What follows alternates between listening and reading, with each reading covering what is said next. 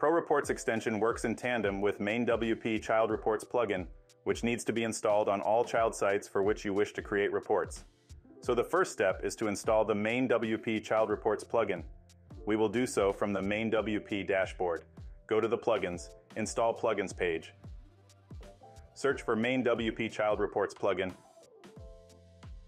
and select it.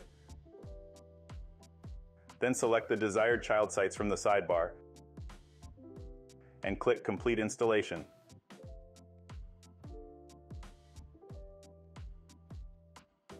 The next step is to install the Pro Reports extension. Go to the Extensions page, click the Install Extensions button, look for Pro Reports in the Agency tab, select it, and click the Install Selected Extensions button.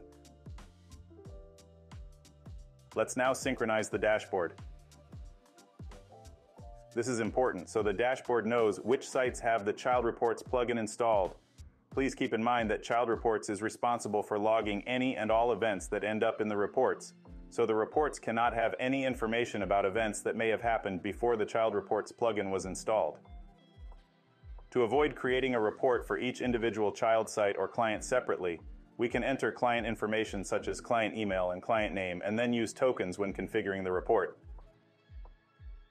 navigate to clients, and then either edit one of the existing clients or create a new one. The page for editing a client or creating a new one looks the same, so you will have the same fields available for you when creating or editing a client. Here we want to enter the client name, which is required, and the client email, which we will use for sending reports.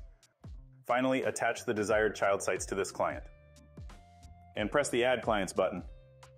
We are now ready to start creating a report. Navigate to Extensions, Pro Reports. On the dashboard page of the extension, you will see a list of child sites that have the MainWP Child Reports plugin installed. The usual handy MainWP shortcuts, such as Jump to Site WP Admin, are also present, including information about when the report was last sent for a child site and how big is the reports database table. Let's create a new report. Enter the title of the report. Then select the report type, either one-time or recurring. In this example, we will be configuring an automated monthly report, so we will select recurring, and then in the schedule dropdown, we will select monthly, and let's set it to go out on the first of the month. If you wish, you can enter a custom file name for the PDF, which will be attached to the email. Then select the style of the PDF in the Report Template dropdown. ProReport Agency is our latest template, so let's select it here. Let's now customize the PDF report. You can define a custom report heading and introductory and closing messages here. These fields support tokens, Click on Insert Tokens to see which ones are available. In the Report Data tab, you can choose which sections should be included in the report. The number of available options will depend on the extension you have installed on your MainWP dashboard. For example, in order to have domain monitoring as an option, you need to have the MainWP Domain Monitor extension configured. The default selection for these data sections is Hide if empty, which means that the section will be omitted if no activity occurred for it during the range of the report. So if there were no updates to WordPress core, that section would not be present in the report. You can also always show or always hide any of these sections if you prefer. In the Custom Branding tab, you can customize the report further. You can upload your agency logo and header image for the first page of the PDF and customize the colors of the report.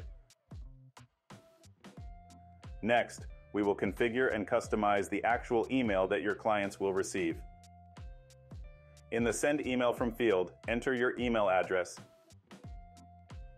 And in the Send Email To field, you can leave the client email and client name tokens. These are the fields we've defined for our newly created client previously in this video. You can further customize the subject of the email and the body of the email here. Fields that support tokens have the usual Insert Tokens link next to them. Optionally, you can also choose a different email template that will change the look of the email,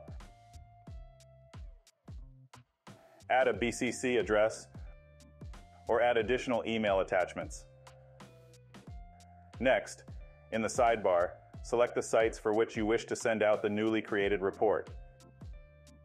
You can preview the report, which will create an HTML preview in the pop-up modal, like this.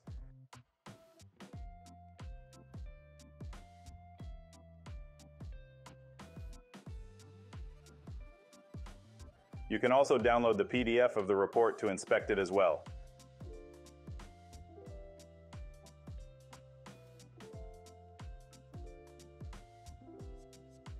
Finally, click the Schedule Report button to finish setting up your report. For in-depth information covering all functionality of the extension, have a look at our written documentation.